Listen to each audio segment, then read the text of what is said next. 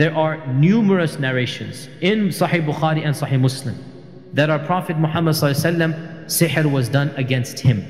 Aisha narrates that sihr was done on the Prophet ﷺ and he began to imagine that he had done something when he hadn't done it. The Prophet would wake up in the morning believing that he needed to do a ghusl. Means he was intimate, but he had not been intimate. So shayateen especially love to play with this area of sexuality. That's why dreams of a sexual nature, whether a man or a woman sees them, what we call wet dreams, whether ejaculation occurs or not, but all dreams of a sexual nature, all of them emanate from shaitan. And that is why the prophets, none of them can have these types of dreams. So dreams of that nature, they come from shaitan. Shaitan plays with our minds, men and women. Now of course it's not sinful, we are not held accountable for what we dream and what happens in our sleep. So in this case, our Prophet ﷺ didn't have a dream, but he thought that he had done something natural and allowed between a husband and wife. And Aisha would tell him no. And so this was the maximum effect of the sihr. It did not affect the wahi, it did not affect his religion, all that it could affect, and it was the most powerful sahir alive at the time. His name is Labid ibn al-A'sam. The max he could do was to make the Prophet assume he had done something halal, and he hadn't done that halal thing, right? Now, had that sihr been done against another human, it might have killed him. But our Prophet the effect was so minimal that he assumed he had done something that was halal. So even the effects of sihr were not haram. The imagination that he had was halal. So Aisha says that he made dua to Allah and he made dua and he made dua to Allah.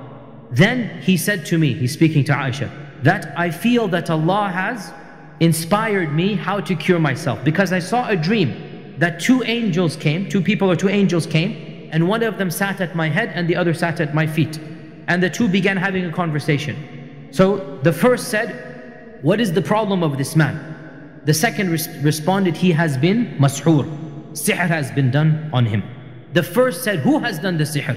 The second said, Labid ibn al-A'sam. So the first one said, how did he do it? What material did he use? The other one replied, he used a comb and the hair that had been gathered on the comb and the outer skin of the pollen of the male date palm. And so he put some type of sihr inside this shell. The first one said, where is the sihr? And the second one said, it is in the well of Dharwan. So the Prophet ﷺ went to the place of Dharwan and he returned and he said to Aisha, the date palms of this well, they look like the heads of devils. And the water of the well is dark bloody. And Aisha said that did you take out that magic with which the sihr was done? And the Prophet ﷺ responded in one narration, no, for Allah has cured me of that and I am afraid that if I take it out, it might cause more harm if the people see it and whatnot. And so the well was ordered to be destroyed and covered up. We learn many things from this narration. First and foremost that Iman and taqwa in and of itself does not necessarily 100% protect you from sihr. Rather, it can minimize the effects of sihr. We also learn from this narration that most magic occurs by using some type of body parts of the one upon whom the magic is done. So the most common things used are hair and nails and also clothing items. We also learn that one of the main ways to combat sihr is through dua to Allah. Because Aisha says he kept on making dua, he kept on making dua. According to another hadith, the angels recited Surah Falaq and Surah Nas. And according to another narration, Surah Falaq and Surah Nas were revealed because of this occasion. So, we learn therefore that Surah Al-Falaq and Surah Al-Nas are of the most powerful cures for sihr. And both Falaq and Nas basically directly or indirectly talk about sihr. وَمِن شَرِّ النَّفَّاثَاتِ فِي الْعُقَدِ I seek refuge in Allah from the evil of those women who are blowing on knots. One of the types of sihr is to take some hair, to take some item and tie some knots and then do your incantations similar to voodoo dolls in our times, right? You throw a pin in and you do this. So all of this is types of sihr. I seek refuge in you from the evil of those that are doing sihr. And قل أعوذ برب الناس ملك الناس إله الناس من شر الوسواس الخناس الذي يوسوس في صدور من الجنة والناس general seeking refuge in Allah from the jinn. And the jinn are the cause of sihr. So we are talking about sihr that is in our vernacular called black magic or the dark arts. You cannot have sihr without the jinn. Every sihr has to have jinn involved. Because in the end of the day how does something happen? The magician has no power. The magician pretends that he has power.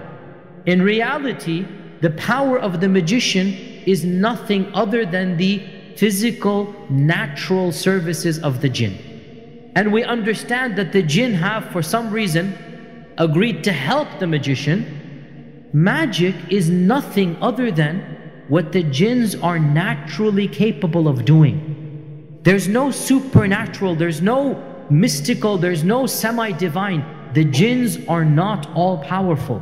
Rather, Allah has given them strengths that He has not given us. And He has given us strengths that He has not given them. The jinn is basically not saying kun fayakun. Only Allah has that power. The jinn does not have what we would call genuine supernatural power.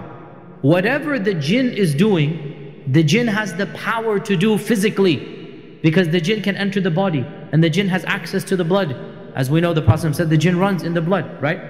He has the, the hiddenness, he can transfer knowledge, he can do this and that. And the jinn has other powers we might not know about. But it's physical for the jinn and not supernatural. So, all sihr is basically jinns doing their tricks. How do we combat magic? Remember that you are reaching out to another world, and that is the world of the jinn and you do not have the physical strength to combat the jinn.